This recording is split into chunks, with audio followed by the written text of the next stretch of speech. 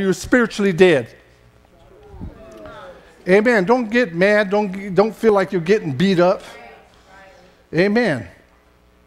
There are so many men and women in the house of God today, so many churches that are spiritually dead, so many preachers that are spiritually dead, preaching a dead sermon to dead people and they don't know it. I was talking to somebody yesterday He was talking to me, was asking me some questions about the ministries, and I was telling him, I'll tell you why there's no freedom in the churches. I'll tell you why there's no deliverance in the churches. I'll tell you why there's no hope in the churches, because they're living on yesterday's dreams. They're living on yesterday's anointing. They're talking about what happened 10, 20, 30 years ago. God is a right now God. God is doing something right now, and you don't know what God's doing if you're stuck in the past. Come on, somebody say amen. Paul said, I left everything behind. That's, that's, not, that's just not the bad. That's the good, the bad, and the ugly. He left it behind because God's got something new in the future. And we can't see it because we're stuck past there. Amen. I went on to tell him, I, says, I said, there's no freedom preaching the pulpits because the preachers today are preaching for gain. They're preaching because, of a, uh, because it's a job. They're preaching because it's, it, it, it gives them security in their future, and they're not preaching under the anointing. Come on, somebody say amen. When you preach under the anointing, you offend people, you get people mad at you, people talk about you, people leave you, people abandon you. It did Jesus and they will to you. If, if everybody around you is loving you, there's something wrong with your walk. Come on, somebody say amen. Everybody pat me on the back. Ooh, Pastor, the best things in cream cheese. I'm worried. I am seriously worried, man. I like I, I don't love it, but I like it when people are opposing me because I know I'm doing the right thing. Come on, somebody say amen. Turn your Bible to the book of Amos and hold yourselves there. I believe with every fiber of my being that God is alive, He's trustworthy, He leads us, He guides us, He provides us, He provides for us. And that He wants to make Himself known unto us, His plans and His purposes. But how many men and women of God are in the dark? Have no clue what God is doing. Come on, somebody say amen or ouch. He makes Himself known to us in every aspect of our life. Not just the little things, not just the big things, but in every aspect of his life, he wants to make himself known to us. But there's so many believers who don't know the will of God, they don't know the plan of God, they don't know God, they barely know how to spell God. And there's the ones that are trying, these are the ones that are supposed to be representing the kingdom. These are the ones that are supposed to be representing joy. These are the ones that are supposed to representing healing, representing deliverance. And, you know, Jesus said it best, best to the Pharisees and Sadducees. He says, You cross the ocean twice over to make somebody a proselyte, and then you make them twice of the devil that you already are. We're doing that in our churches today. We'll go everywhere and anywhere to get people delivered, so called delivered. We're going everywhere and ever to spread this message and bring them in the church, and we'll make them prejudiced, we'll make them judgmental, we'll make them critical, we'll make them sanctimonious, we'll make them self righteous. Come on, somebody say amen. amen. And they're twice bound as they ever were before talking about, well, where is God? I'm going to tell you something. I, I, I can't serve a God that doesn't make himself known to me. I can't serve a God that doesn't make his plans known to me. I can't say, see, that was what the enemy did. I'm going to tell you that the enemy, the enemy of my soul, the devil, that's where I served him. He said, rip, run, do this and do that, but I ain't going to show you the outcome. It was only when I got in the squad car, only when I got behind bars, that I see what his plan was for me. But God says that he knew what the end from the beginning. God's got a plan for you. He says a, a blessed plan to give you an expected hope in the end. God knows what the end is, and he wants you to know what the end is so you can do it joyfully, but we can't serve him joyfully because we're wandering around the dark wondering where God is. Come on, somebody say amen. Where's God? I just don't understand God. How are you going to be serving God 5, 10, 15, 20 years and not understand God? That's like being married to somebody for 30 years and you're saying, I just don't understand you. After six months of marriage, you ought to get some kind of understanding. Matter of fact, let me put it plain. Before you get married, you ought to have some kind of understanding. Don't wait till you get married. Before you get married, you ought to have some kind of understanding to who you're getting married and what you're getting into. And we got people that come to the house of God and they jump in and they don't know anything about God. They know everything about religion. Amen. They know about the prayer meetings. They know about the evangelists. They know about what the tithing. They know about everything that they should be doing, but they don't know the spiritual spirituality behind it. I'm talking about serving a God with joy. The Bible says that, that God is a spirit, and them that worship him must worship him in spirit and in truth. I'm talking about a God, listen to this, that is outside of our universe. You're not understanding this. This blows my mind. Our universe is so vast that scientists cannot find the end of it. Now, God can't create something that's here already.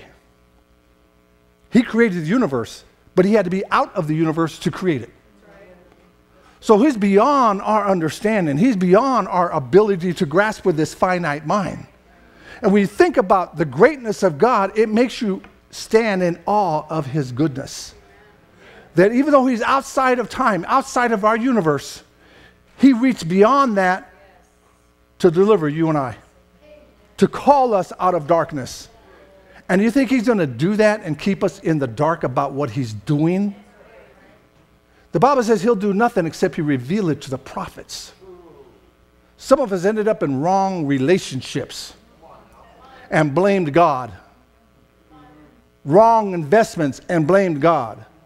Wrong jobs and blamed God. Wrong churches and blamed God.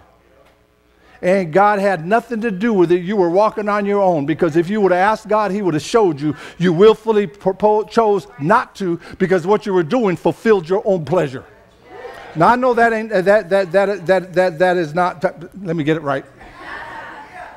That is not what we want to hear because we want to be told everything's okay. God loves you just the way you are. Yeah, He does, but He loves you so much that He made a way for you not to remain that way.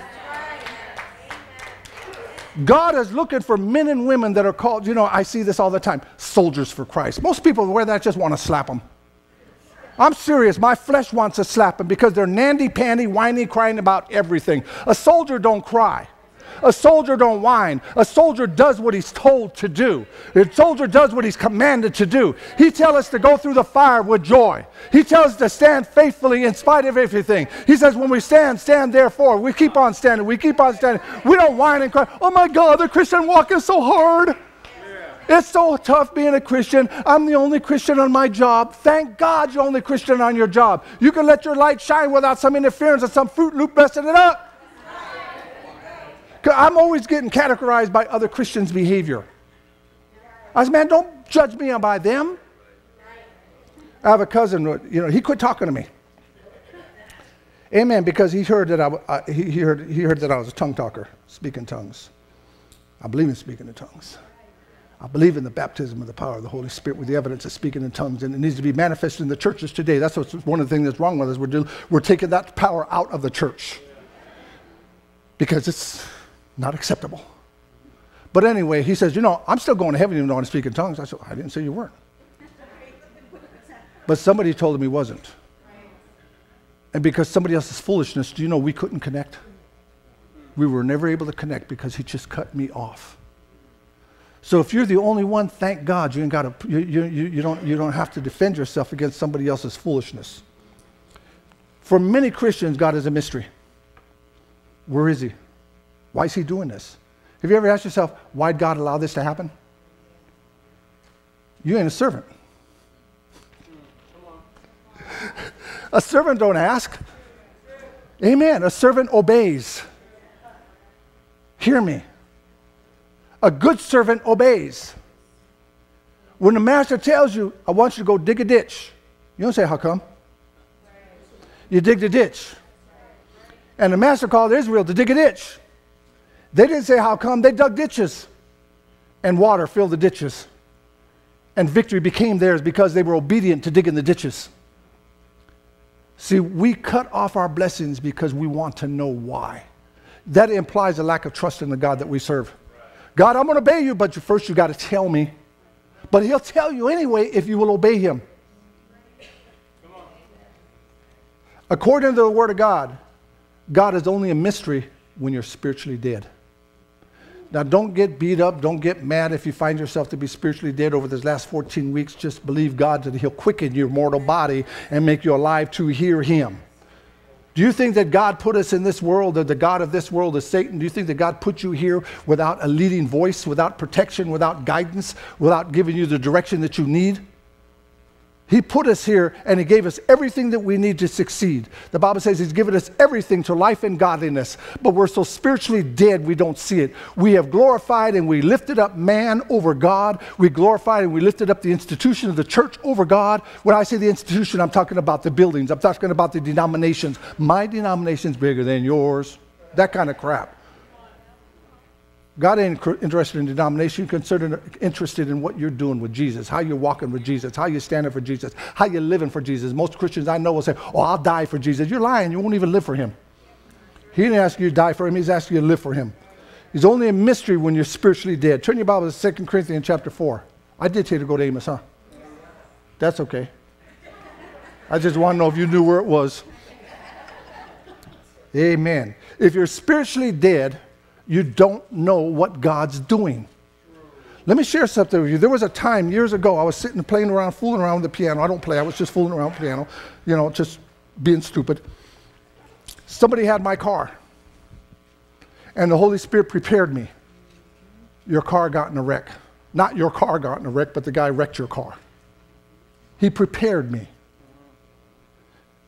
A few minutes later, the door opened, and the guy opens the door, Pastor, and I go, You wrecked my car. He goes, How'd you know? I said, The Holy Spirit told me. See, the Bible says not to be afraid of sudden fear. You ever get that news out of nowhere that just rocks your world? It ought not rock your world. Listen to me. This is a reality, whether you like it or not, whether you accept it or not. So, it, you know, if it's not in the Word, it wouldn't be a reality. Right. But it's only a reality to them that can grasp it. You want to be religious and not grasp it, that's your prerogative. But I got a responsibility to tell you. Perfect peace will I give them. Not as the world gives, give I unto you, but I give you a perfect peace. Peace will he give to them whose mind is stayed upon him.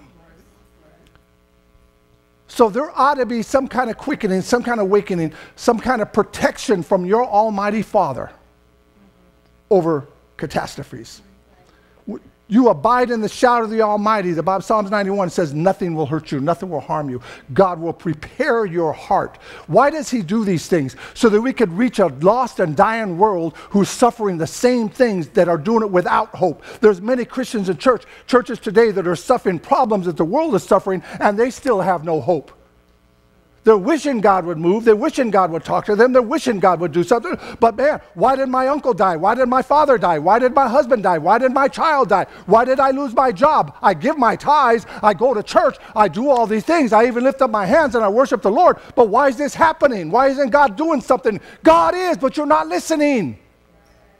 You're spiritually dead. And nobody's told you you're spiritually dead because everybody you've been sitting under is spiritually dead. Hallelujah.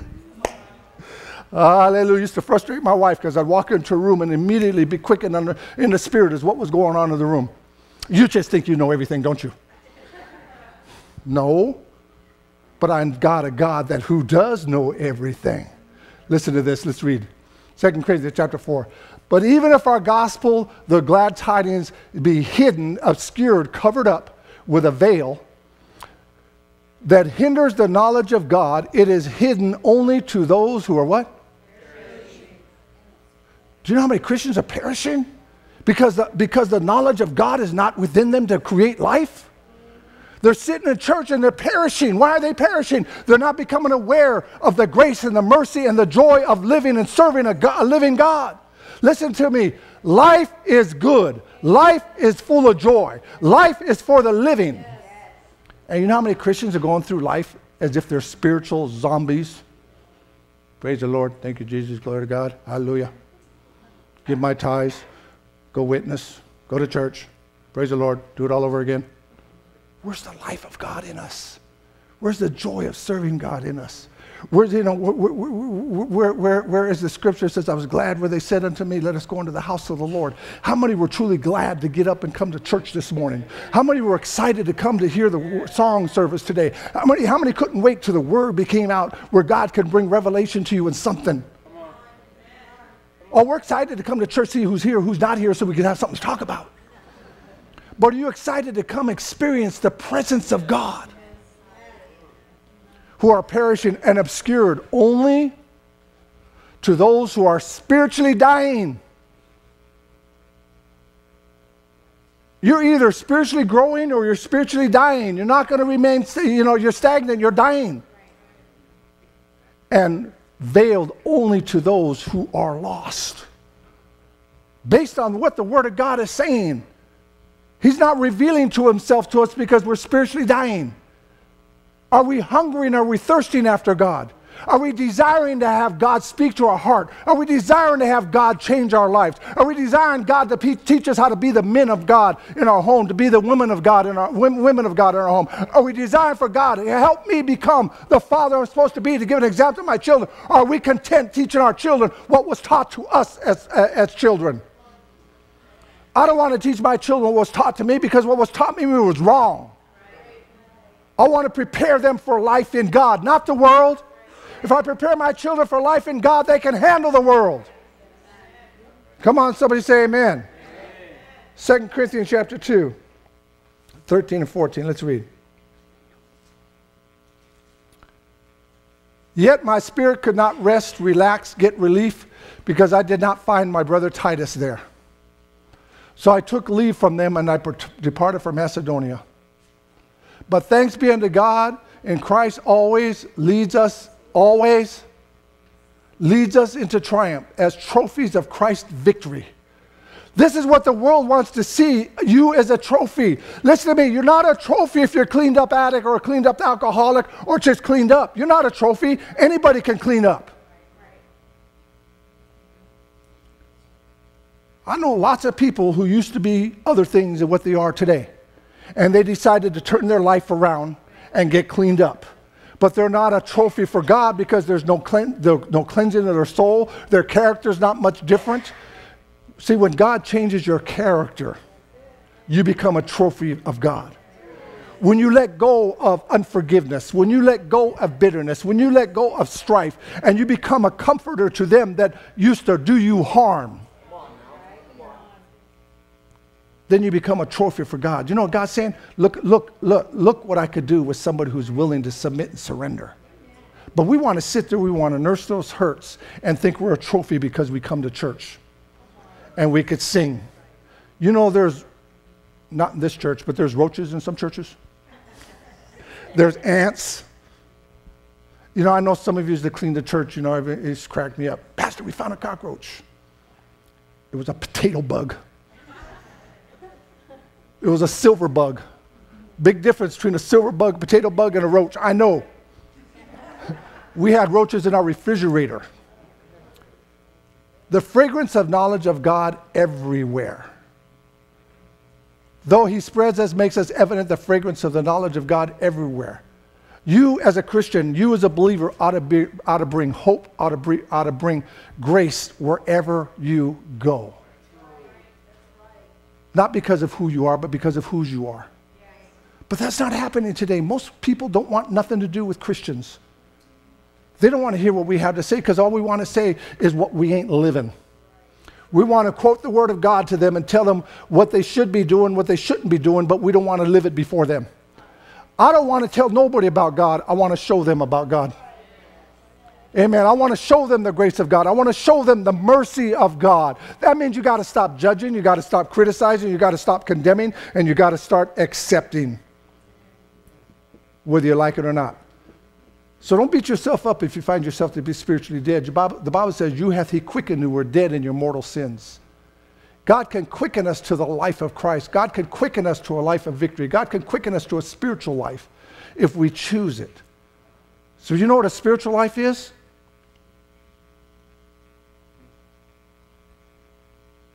Nobody?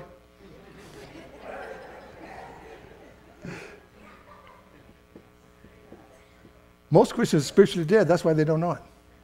They think a spiritual life is being slain in the spirit, speaking in tongues, jumping up and down, shouting hallelujah. That's not a spiritual life. I could be having a spiritual life mugging, not mugging somebody purposely, but they think I'm mugging them. I'm riding my bike listening to my blues. You know what a spiritual life is? That I'm at God's beck and call service anytime He needs me, right here and now. I don't say, no, no, no, no, Lord, I'm too busy.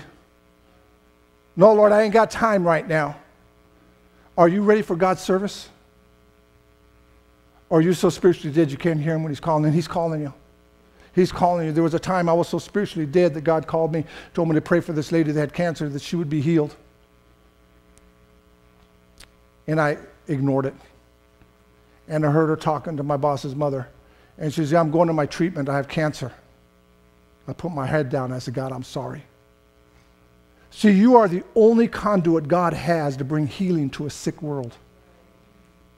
But when we're spiritually dead, we're not hearing it. We're not listening because our plans and our purposes are more important. I was too busy writing up a work order. I was too busy trying to get the job done to hear what God was saying. What are you too busy trying to do to hear what God's saying? You're too busy trying to build your kingdom? Too busy trying to build your family? you're too busy with yourself?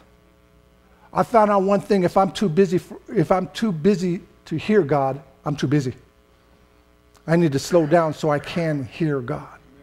Spiritually dead people don't hear the voice of God. They're always wondering where God is, what God's doing, why is God doing this. I don't care why God's doing it. I just care that I hold on to the end. God, give me the strength, give me the ability to hold on to the end, and in the end, you'll let me know. Amen. Are you happy? Are you content? Are you tired of living from one trial to another trial to another trial to another trial to another trial to another trial? Don't get me wrong, even victors have trials, but it's about the perspective.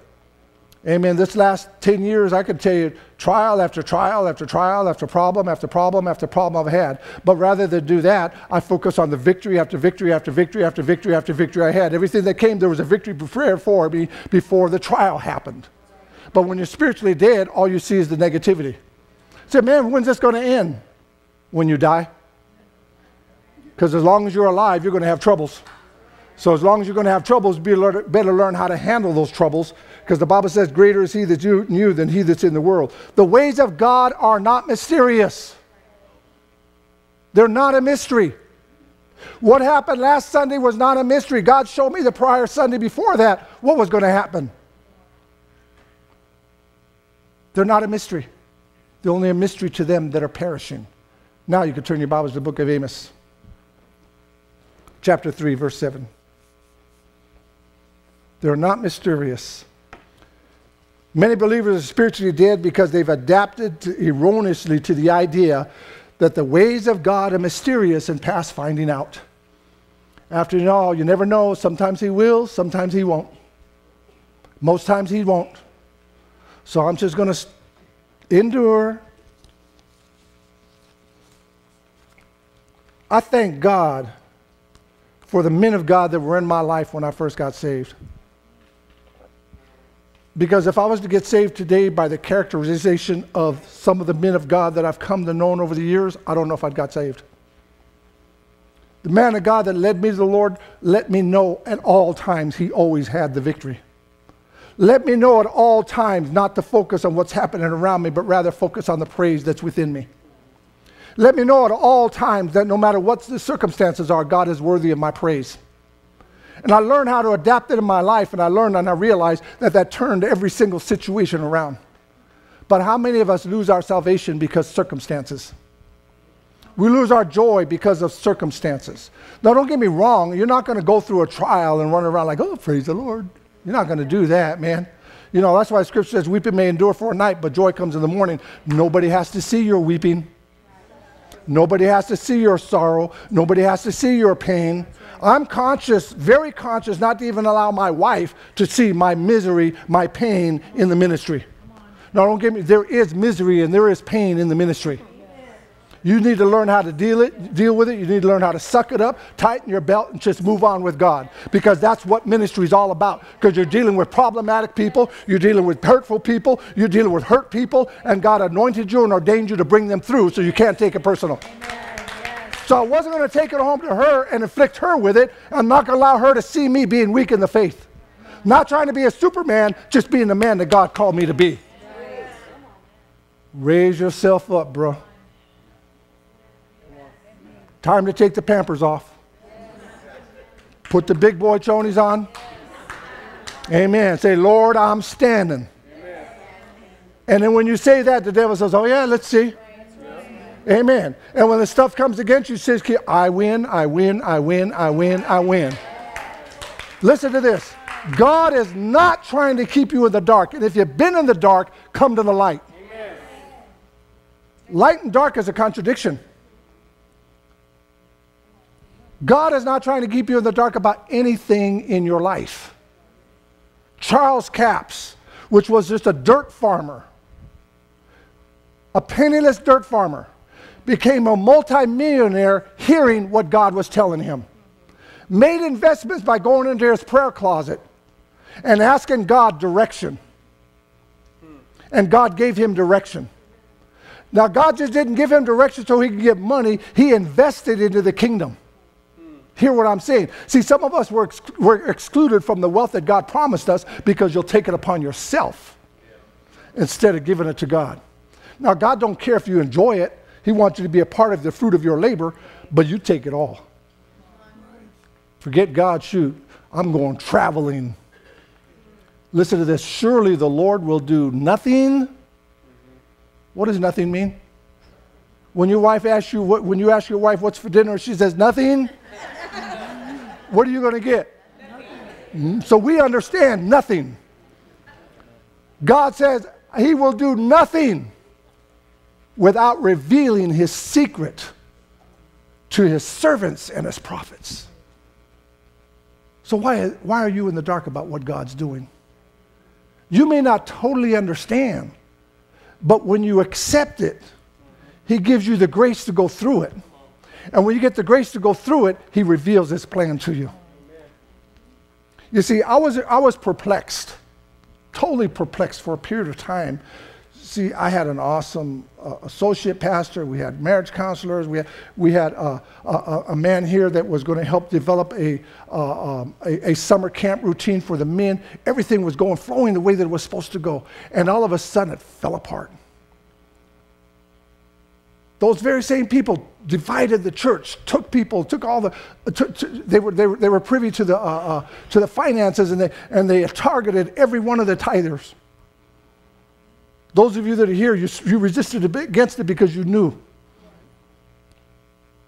And God, why is this happening? And it happened when we went away to enjoy ourselves. First vacation we had, like in 10 years, went to Alaska, come back, guess what? Bam. So for the next two years, we stood here and we rejoiced and we shouted the victory.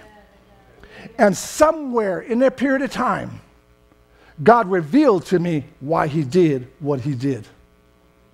He will do nothing except he reveal it to the prophets. And this is what he spoke to me about. He says, I had to remove them that were religious because they were putting you back in that religious box, and I called you to freedom. See, they wouldn't allow what we have here today to be here today because it was so against everything that they thought was right. So God says, No, I got something special. For, so when God takes something away from you, it may be for your good rather than your wrong. Well, God, I don't understand why you did this. Be faithful and He reveal it to you. I stood here, right here in this spot, and cautioned every church member in here not to say nothing wrong. Don't think evil. Pray. And in the midst of that obedience, God deposited the why. And when He deposited the why, it gave me the grace to go through the rest of it. See, we don't have the grace to go through it because we have not been revealed, the why has not been revealed to us, and we're still mourning about the loss. I don't consider what was removed a loss. I consider God pruning the tree so the fruit can grow. Ain't that what He says? He will prune the tree so the fruit can grow. Hallelujah. How many are on the verge of being pruned? Hallelujah. I'll just tell you what the word says. Amen. See, I don't want to be pruned. Amen. I found myself to be a vessel unfit. I said, God, help me to be fit. Make me a vessel of honor. Don't prune me, prune him.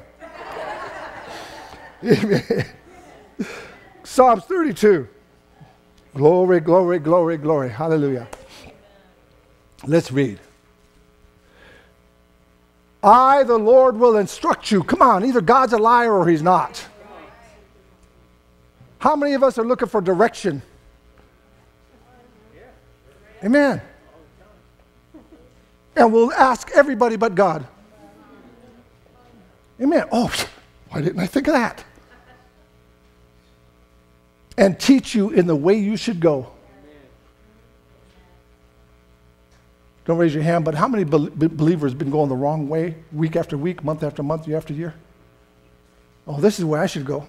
You treat me good. I like you. You love me. Oh, it wasn't you. Oh, hey, how you doing? You treat me good. I, Oh, it wasn't you?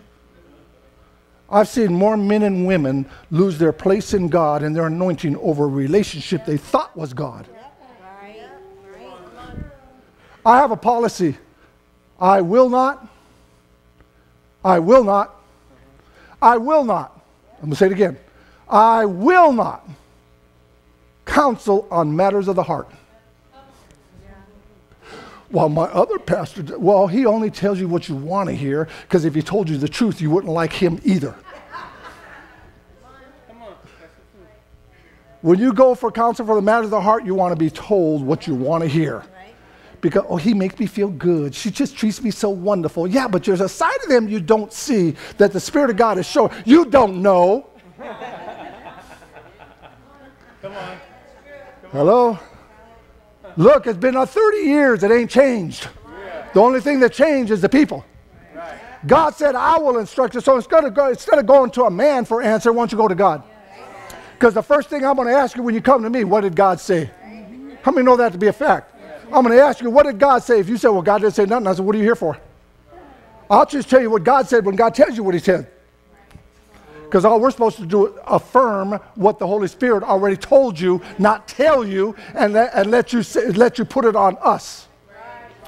I, the Lord, will instruct you and teach you in the way you should go. I will counsel you with my eye upon you. Does that sound like a God who will keep you in the dark? See, but when we don't know this, we remain in the dark. He says, You shall find me when you search for me with all your heart, all your mind, all your soul. So we're as spiritual as we want to be or as non spiritual as we want to be. Right, right. Well, gee, if I don't know, then I could plead ignorance. you ever been to court? I went a couple times. So, well, I didn't know. Ignorance is no excuse. But I didn't know. Sentence is still passed down even though you didn't know. So you may not know that God wants to reveal himself to you, but sentence is still passed down. what was the sentence? John 10, the thief came to steal, to kill, and destroy. Because you not knowing that God wants to reveal himself to you in every aspect of your life, the enemy comes by and he steals, he kills, and he destroys everything that God has for you. God's got a man for you. I hear somebody saying, when? when you get yourself right. God got a woman for you. God got a partner for you. Not partner, but God has a partner for you. Amen. And you don't have to, or oh, you the one, or you the one, or you the one, you don't, you don't have to do that every time somebody comes in. God will reveal it, not to this man. I see the sister one time go to some guy. God told me that you're my man. that guy took off quick. no. God will tell you so you could prepare yourself. He ain't tell you so you could make it happen. He'll make it happen. See, but we don't believe that, so, you know, we go ahead and we set ourselves up for failure by making it happen. Because God's keeping us in the dark. So I'm going to put on my clothes that make me fit and look good so I can catch. And then you're crying to God a year later what you caught you didn't like. Again, the biggest failure in the churches today are marriages. It's the biggest failure because we got Christians getting married prematurely. And then when you get married, oh my God, I guess we're stuck. Yeah. Amen. You got to work it out.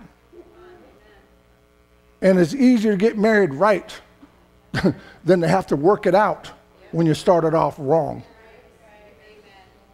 Ephesians chapter 2. Again, I, can't, I cannot emphasize enough that the ways of God are not mysterious. Every time, I, every time something happened in my life that I uh, didn't pay attention to God, God was showing me, but oh my God, I had to have it. I wanted it. I didn't want to hear God tell me no. I didn't want to hear God tell me later. I wanted it now. How many spoiled brats we got? I want it now. And God's saying, wait, now's not the time. But we don't want to hear that. We don't want to hear that. God will reveal himself to you Not after the fact, before the fact. That's what makes God so great, so loving, so kind, so caring. That He will speak to us, He will guide us, He will lead us. Not just, this is not just a new covenant direction. He told Moses that eh, when Moses was going into the wilderness, that an angel will go before you and he will speak in your ear and he will tell you when to go, where to go, how to go, and why to go. This is just God's character. He wants to protect us. He wants to lead us. So when God's when something happened to your life and you don't understand and you got lost, you can't say why this happened, God. You wasn't listening to Him. There's a, a, a intuition that we have. There was intuition that I had before I was saved, and oh my God, it worked good. And whenever I worked against it, it worked bad. Something would tell me not to go somewhere. And when I listened to it, it all worked good. But when I didn't listen to it, I got arrested, I got jacked up, I got hurt, I lost. Now, that was the enemy giving me that intuition to keep me. God will give you intuition and He will give you direction to bless you. But we're not listening. And we're not listening because we think we got it together. I've been coming to church five years, man. I haven't said a swear word in two weeks now. I'm doing good. Scripture says, He that thinketh he stand, take heed lest he fall. Our reliance has to be consistently upon God and not our own understanding. Man, I, I know how to formulate a, a, a four point sermon. I know how to put Bible stuff. I'm, I'm, I, I, I could do this, that, and the other thing with the Word of God. I could preach circles around you. Yeah. It's nothing but God's grace and mercy in your life that gives you the ability to do that. You do nothing on your own. When we decide to take it upon ourselves, we shut ourselves up from communication with God. The scripture says, He that hath an ear, let him hear what the Spirit saying to the church. Saying. What does saying mean? Consistent. God is always talking to us, but we ain't always listening. Right now in this room, there's UHF waves, there's satellite waves, there's VHF waves, there's AM radio waves, there's FM radio waves, there's Sirius radio waves that are in this room, going through your body, through your mind, through your ears, you know, through your whole body, filling this entire room. But we're totally ignoring it because we're not tuned into it. But when you get the right components to tune into it, you can hear it. Now, uh, some of you is old enough to remember this. KDIA used to be a hard radio to get, 1260 on the radio dial, AM. And you'd, go, you'd, you'd, you'd get 1240, 1250, 1270, and you you get, there it is. You had to tune in just right. KDIA was a soul station, man. Uh, you had to tune in just right to hear it. And sometimes when your car went the wrong direction, amen, cruising down East 14th and you turn left on 98th Avenue. All of a sudden, you lost it. Hello? You tune into God, you got to stay on the path that God wants you to have to stay tuned into Him. Because if you go the wrong direction, you lose contact with Him. Dude, I don't understand why God's doing this. What is He doing? What is God doing? I'm trying to understand that. When I hear people say that all the time, wait a minute. God didn't make your husband full of sickness and disease. You fed him all that fat food. I don't understand why God's doing this, man. God, he's in the hospital. He's in the hospital because he's full of pork chops, neck bones, beans, tortillas, enchiladas, and all this stuff that he shouldn't have been eating for 20 years. And now you want to blame God. God was trying to tell you a long time ago Stop. I was 50 years of age before I ate any vegetables. Just didn't like them. And I started eating them because God healed me of hep C. And the first thing God told me, I remember driving out of the driveway. The first thing I did is I called my wife and told her the doctor's report. I said, The doctor can't find a trace of it nowhere. He's upset. So we got to do it again. And I pulled out of the driveway and I hung up the phone and I turned right. And the Holy Spirit says, Now that you got your healing, you got to learn how to keep it. Hello? God will direct you, God will keep you. But we're creatures of habit. We want to do what we want to do because we want to do what we want to do. That's all there is to it. And the Bible says you're not your own, you were bought with a price. Therefore, glorify God in your body and in your spirit. Stop doing what you want to do because you want to do it, because what you wanted to do when you wanted to do it didn't work when you did it.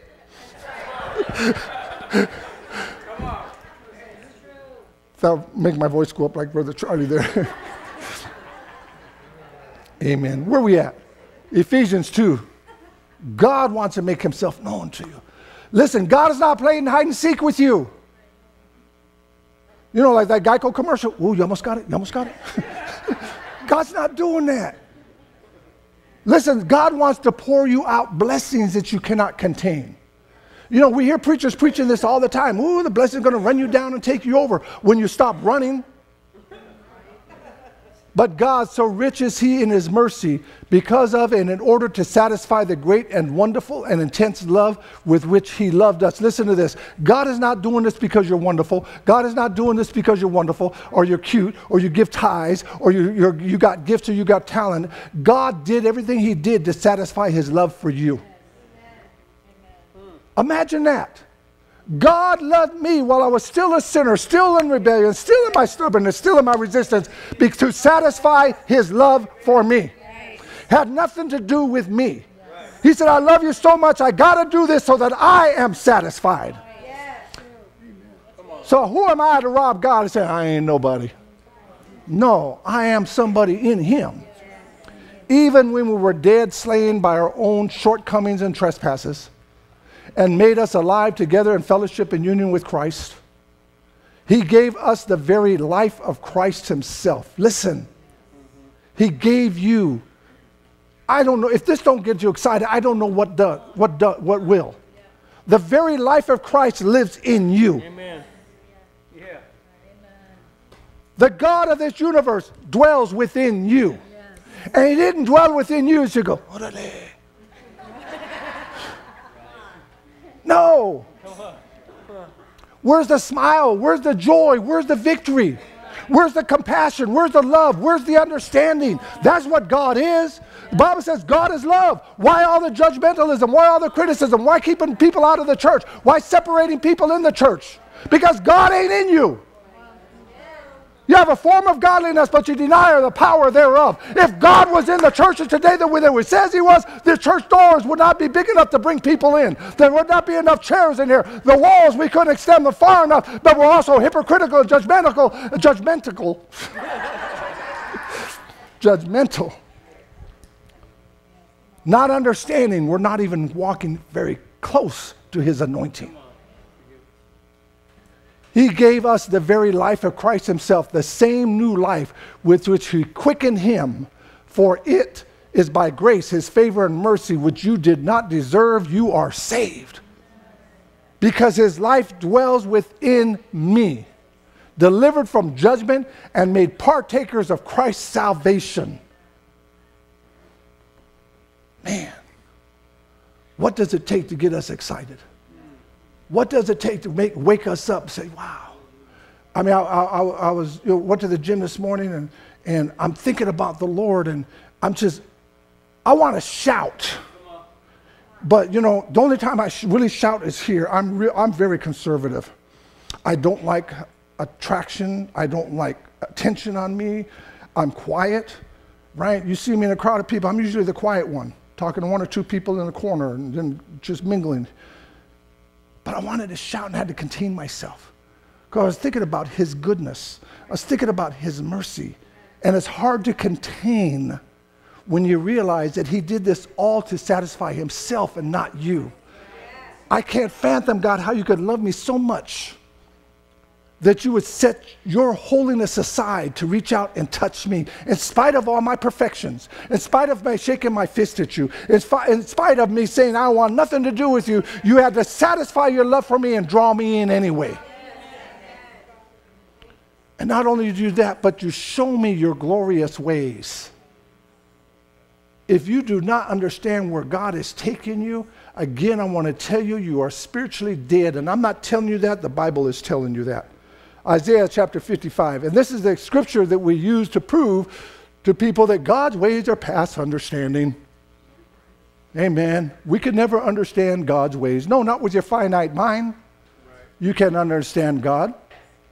But the scripture we just read said that where is, where is Christ's spirit now? It's in us. So if Christ's spirit is in us, it gives us the ability to understand the voice and the direction and the guidance of God. But with our natural mind that is hostile against God, we cannot understand God. But how many believers are accepted that fact that you can never understand God because his ways are past understanding? We've accepted that fact. So, oh, especially when we get into a place we just don't grasp, we got no answer for, oh, well, you know, things have got to pass understanding. No, it's time for me to evaluate my circumstances, evaluate my situation, and to see what's going on. Is, did I bring this upon myself, or is this just something that happened? If I brought it upon myself, let me cleanse my ways, let me consider my actions, let me consider my behavior, and get back where I belong. And if this is something that just happened, like the Spirit led Christ into the wilderness, and the Spirit's leading me, then maybe I just need to follow and shut up. Maybe I just need to praise Him all, all through this and see what happens. Let's read Isaiah chapter 55. My thoughts are not your thoughts, neither are your ways my ways, says the Lord. Well, that's very clear and understanding right there. That tells us that we could never understand God. But they neglect to put it together for us in the way that we can totally grasp it spiritually. For as the heavens are higher than earth, so are my ways higher than your ways, and my thoughts are not your thoughts. But the Bible tells us in the New Testament, New Testament believers, let the mind of Christ dwell in you richly. Do you think that God's going to keep his son in the dark? He didn't keep his son in the dark. Even when he was in the Garden of Gethsemane, he knew what was waiting for him at the cross of Calvary. And he interceded and he tried to pray. He said, God, he says, if it's possible for your plan to be fulfilled in any other way, let it be fulfilled. But if not, Give me the strength to endure this. He did not keep Christ in the dark, neither is going to keep Christ in you in the dark. Do you know why he doesn't keep you in the dark? Because we're living in a world that is full of darkness. And he sent you out as what? Lights. And it's not, your light is not just the gospel. Your light is the hope of glory that lies within you. You know what that hope of glory is? The hope of glory is healing. The hope of glory is hope. The hope of glory is sanctification and cleansing, and the whole world needs it. And if we walk out in that world, we become friends with people that don't know God. We can change their world. Yesterday, we were blessed. Treasures Out of Darkness was invited to Vallejo. Brother Ray uh, did a um, community event out there in his neighborhood. Now, he's been coming to here, him and his wife been coming here, I won't even guess how many years because I'll, I'll mess it up. But they've been coming here long enough to be doctrinated in the Word. Amen. And in the Spirit, more importantly. And he took this gospel and he went to his neighborhood and he single handedly changed his neighborhood. Single handedly reached out to every one of his neighbors in the neighborhood single handedly brought in the grace and the mercy of God in his neighborhood, turned the culture of his neighborhood around because of the message that he was hearing here. Here's somebody says, You know what? God be my guide, God be my lead. So he took a step of faith and he reached out and allowed God to use him. Realize, you know what? I don't want just this hope in here. I got to take it out there. We're, we're, we're, called to travel through a dark and dangerous world, but we're not called to travel a dark and dangerous world alone. He said, I will be with you always, even to the very end of time. His ways are past understanding to the natural man. But, saints, you are not natural men. Paul put it like this He said, I marvel that you're acting like mere humans. I marvel that Christians are acting like mere humans, not understanding the things of God. Uh, pacifying ourselves by saying, well, the ways of God are past understanding. No, they're not. If you don't understand, get down on your knees. You might have to fast, oh my God. You might have to give up a meal. Let me share something with you. You are not going to die if you give up a meal. Some of us look like we could give up a bunch of meals. Go to John chapter 16, myself included. Do I want to? No. I don't want to give up a meal. I love my food. Therefore, I'm going to develop an ear to hear God so I don't have to give up a meal. Hallelujah. Listen to this. You see, as believers, we believe that the Holy Spirit is here to make us feel good The Holy Spirit is here to give us goosebumps. The Holy Spirit is here so we get slain in the Spirit. The Holy Spirit is here so we can, we can I'm trying to talk over that, but it's not working. Amen. The, the, the, Holy Spirit is here to, to uh, uh, give us everything that makes us feel good. That's not what the Holy Spirit's here for, saints. That is not what the Holy Spirit's here for. The Holy Spirit is here to guide you, right. guide you, guide you. That means you shouldn't be in darkness. That means you shouldn't be in pain. See, we quit seeking Him, we quit searching for Him, we quit desiring Him, and we have settled into, into conformity. We've settled into religious attitudes because I know how to do things. It's a very dangerous thing when you know how to put a message together because it's so easy to rely on your ability to do it. And you need to consistently tell yourself, it's not by might nor by power, but by His Spirit. God, you do this. God, you do this. Over the years, I, myself, I, I, have disciplined myself to consistently and always put myself aside in that prayer closet and that study time for the Holy Spirit to speak through me. But there was times where I wanted to do it myself because I just didn't want to take that time. Because sometimes we get selfish. And when you don't hear God, you try to do it, all of a sudden it don't work right. Aren't you getting tired of it not working right? Listen to me. I believe the Bible through and through. I believe it's real. I believe it's powerful. I believe that it's immutable word of God. The Bible says, Psalms 1, whatsoever righteous man touches shall prosper. I believe that. Why aren't the works of our hands prospering? God wants to show the whole world his goodness. But it's not happening because we're incorporating uh, uh, humanistic teachings, we're incorporating ide- our own ideologies and everything else into our faith rather than God. When you try to, you know, at least when I do, when I talk to people about God, I say, well, it's God, God, God, God, God, God, God, God. It's always God with you, brother. You know, you just, you got too much of God in you. How can you have too much of God in you? I had somebody tell me that one time. You got too much of God in you. Well, I take that as a compliment today. You know, See, we want enough of God so that we feel good, but not enough God to change our character. I want enough of God that when I feel a curse word forming in my mouth, that it don't taste good. I want enough of God in my uh, enough of God in me so that when I want to tell somebody shut up. My daughter Nyla was raised in the house where shut up was not allowed. Amen. We, we, we're not allowed to say shut up. And I remember the first time I said it said it to Gloria. Said it in a nice way, but I still said it.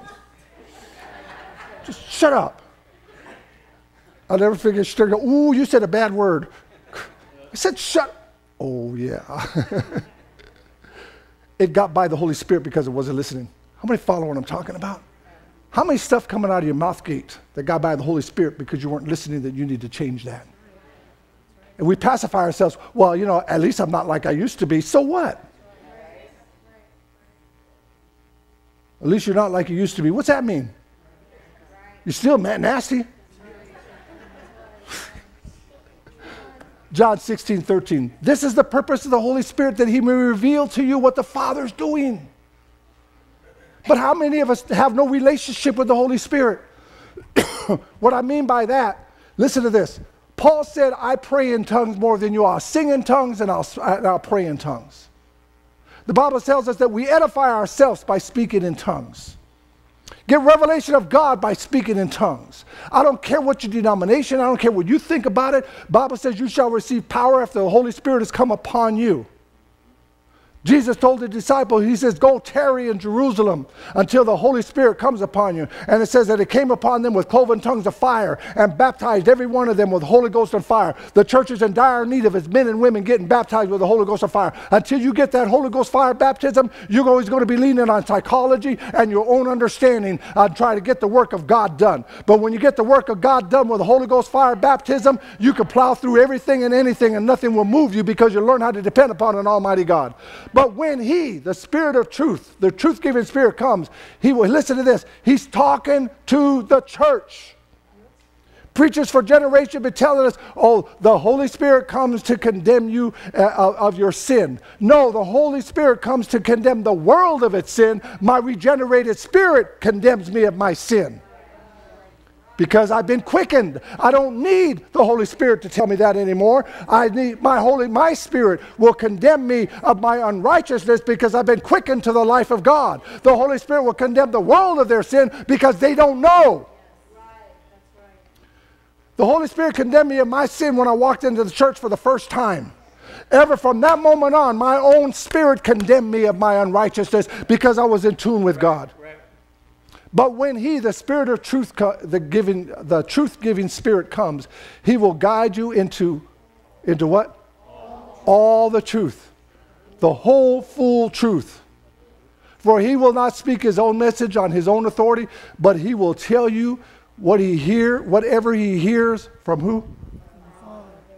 What's he going to tell you? Whatever he hears from the Father. So the Father's telling the Spirit, tell them Pancho is not the one. it was, oh, but I love Pancho. Pancho takes me out for dinner and he tells me how beautiful I am, but the Holy Spirit says, no, Pancho's not the one. Leroy's the one. he will give the message that has been given to him. God is not trying to give, put you in the dark, and He will announce and declare to you the things that are to come. The Holy Spirit will tell you things that are going to happen tomorrow, next week, next month, next year. Things to come. You're not hearing me. This is the God that we serve that we've not allowed to minister to our spirits in because we're too busy trying to formulate our own Christianity, our own version of it. Here's what he says wait upon the Lord. Wait. Well, what if you don't tell me nothing? Keep waiting. Do you know, I was uh, uh, seeking the Lord in a fast one time. And I was like 21 days, 20 days into my fast. And this is what stops us from finding God our desires to fulfill our own pleasure. Amen. And I cut myself short of finding the direction of God in this because I'm thinking, gee, what if I die and I never eat an apple pie? I don't get to th- eat super chunk peanut butter sandwich. So I sold out for some stupid piece of food that satisfied me for the moment. But the Holy Spirit was trying to lead me into some deep truths that I desperately needed and wanted. I sold out for some fruit, some food. Eve sold out for fruit from the tree. What are you selling out for? a cheap date? Huh? A job that you want, that you like, that God never called you to? What are you selling out to? And then blaming God. But I don't hear you, God, because you're selling out. You were bought with a price. It says, glorify God in your body and your spirit, which are God's. He wants to direct you, He wants to lead you, He wants to guide you. He will not leave you in the dark. He will show you his plan. Go to Luke chapter 11. This will be our last scripture. Hallelujah. If you're one of those ones that have been walking around and, and, and proclaiming the ways of God are mysterious and past finding out, please today stop. I've shown you that He wants to reveal Himself to us. But there's things in our life that stop him called self will. We need to get rid of that so he can make himself known to us. God wants to show you and I off to this whole world and show the world what he can do with somebody who's willing. God was sent, he sent his son to the world amongst a bunch of rejects. This boggles my mind. In the lineage of Christ is a prostitute. Amen. He sent his son to Jerusalem, which was a ghetto. The Bible says that God chose the foolish things of the world to confound the wise. He chose the castaways, the rejects of society, so he could fill them with his goodness and show off what his glory can do to people that are listening. And you know what we do? We come into church, We don't allow transformation to take place. We allow our fears and insecurities to be fed, and we feed them, and we act on them, and then we reject the word rather than allowing the word of God to build us up and to establish us. Amen, amen, amen. Good stuff, Pastor Mike, even though I don't want to hear it. The good stuff, man. Luke chapter 11. Let's read. If you then, evil as you are, I'm not telling you that. God's saying that. God's saying you are evil as can be. And in your evilness, you have give good gifts to your children. Not a one of you are going to just smack your kid upside the head just because you feel like smacking them. Amen. They ask you for, for, for, for something at the store. You're not going to go to the store and, and, and, and you know, they, they, they want a, uh, uh, you know, I don't know, video game and you go home, go home and, you know, get them a cupcake. You're not going to give them the cupcake. You're going to get them the video game they want because you want to be a good parent. Listen to what he says. How much more will your Heavenly Father give the Holy Spirit to those who ask and continue to ask Him? Listen to this. That sounds like a strange answer. He's talking about things and he jumps into a person. God's not interested in you getting things. Amen. God, I need a house. I need a husband. I need a wife. I'm tired of being alone. Who told you you was alone? Nothing wrong with being alone. The Apostle Paul said, I wish everybody could be like me. Be mindful of the things of God. Amen. Marry a husband or wife, man, all of a sudden you become their slave. Not all the time, but you know, I mean, sometimes you get the wrong one. You know what I mean? Amen. Uh, not all the time. But it goes from talking about things God, I need a car. I need this. I need that. And our whole life is based on things, right? Buy more things, get more things, I'm more complete, I'm more full. I hate things because it just fills your life up and you got to take care of it and it just. But I mean, it's okay, but, you know, I mean, the blessings of the Lord, so they're good. But sometimes you get overwhelmed with those blessings. But God said, I'm going to give you something more than things, and he that hath an ear, let him hear what the Spirit's saying right now. He said, I'm going to give you something more. You being evil know how to give good gifts to your children. I'm not evil, and I give better than gifts. I give to you the gift giver. Listen to this. The Bible says, by him, everything that's been made has been made. The Holy Spirit is the gift giver. God says, I'm not going to give you a car. I'm not going to give you a boat. I'm not going to give you the money you need. I'm going to give you the Holy Spirit, and He will guide you into the things that you need through life. Do you hear this? The Holy Spirit will guide you. So it's imperative for us to learn how to have a hearing ear to hear what the Holy Spirit is saying because God's not interested in giving you things. He's interested in giving you the person of the Holy Spirit who will take you to the things that you need because you've filled your righteousness with Him. Oh, come on. You should have praised the Lord right then and there. Should have gave the Lord a praise right then and there. How much more will your Heavenly Father give the Holy Spirit to those who ask Him and continue to ask Him? I quit a long time ago asking God for things. I simply don't do it. Because the Bible tells me He knows what I have need of before I ask, and while I'm asking, He'll answer. I just pray, God, give me the ability to understand where the Holy Spirit's taking me so I can see it. All around us every day, miracles are being created and we don't see it. We don't see it because we, we miss the biggest miracle of all. We want to see, how many want to see a miracle? Amen. Amen. I'm going to show you a miracle right now. I'm going to show you a miracle when you go home. Because I don't have it, I don't have it, I don't have it to show you right now. I mean, I have it to show you, but I don't have the tool to show you. I'm going to show you after church. Go in the bathroom. Okay, wait a minute. Look in the mirror. What do you see looking back at you? I see a miracle looking back at me. That miracle was possible because of a relationship with the Holy Spirit. He led me to the truth that gave me the life of God in Christ Jesus. You are a miracle. Don't allow anybody to sell you short of that. You are a miracle that is waiting to walk in the anointing that God designed for you to walk in. God is not trying to keep you in the dark about that. He's trying to enlighten you so that you can be glorified in Him.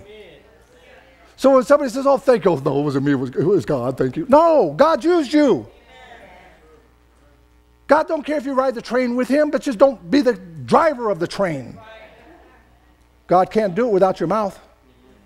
God can't do it without your hands. God can't do it without your feet. You are the conduit which the Holy Spirit wants to make miracles happen. But you got to understand that you are a miracle so the miracle can flow through you. Listen, you'd have been dead if it was up to the devil. And some of you know it. Some of you know it. You know it beyond the shadow of a doubt. And instead of giving back to the kingdom, you're sitting on it wondering, where's God? He's here all the time. Just accept his goodness. Did you learn something this morning? Come on, give the Lord a praise. Amen, amen, amen.